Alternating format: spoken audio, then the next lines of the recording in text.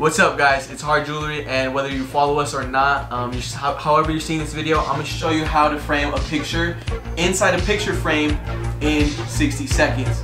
But, alright, first you're going to have your picture frame and it's going to come like this. First thing you do, flip it over, bro. That's it. Literally just flip it over. We're on step one out of four. What you're going to do next is unhinge it from the back. You see these little things?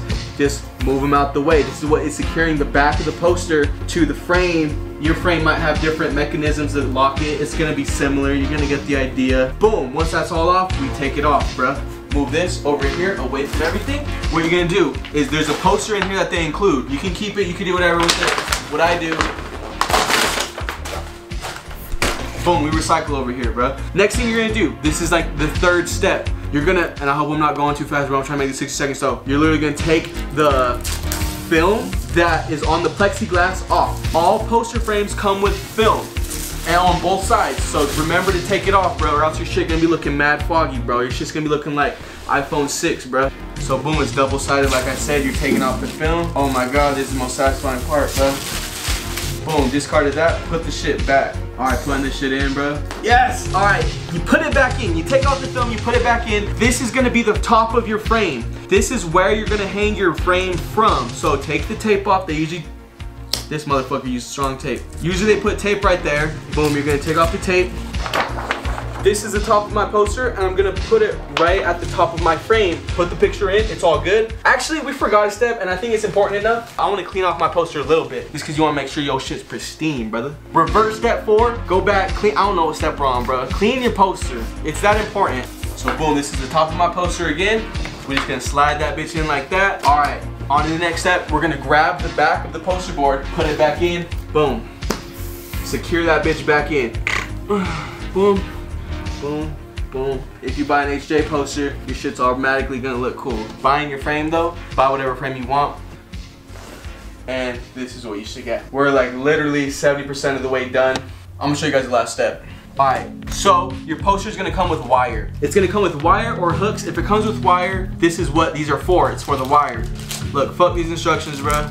You got you got me today, bro. What you're gonna do is tie your wire so it's kind of tight. It's a little bit tight. You don't want it too loose. I'll show you what I mean. I'll just show you guys. So boom, you put your string through this picture frame, little hook right here. I, I like it tight. I kind of just measure it by my hand. Literally, there's no technique. You literally just wrap it around, you loop it, and then you just keep going around. You just keep going around the string, bro. This fucking wire is so strong. Y'all aren't seeing, look, my hand's literally sweating, bro. Boom, look, that shit never coming off, bro. Ah. Anyways, boom, you do the same thing to the next side, but you wanna make it tight. Whatever strength your nail's gonna be at, just know that your nail's gonna chill right here. So if your nail's in the wall somewhere, anticipate that.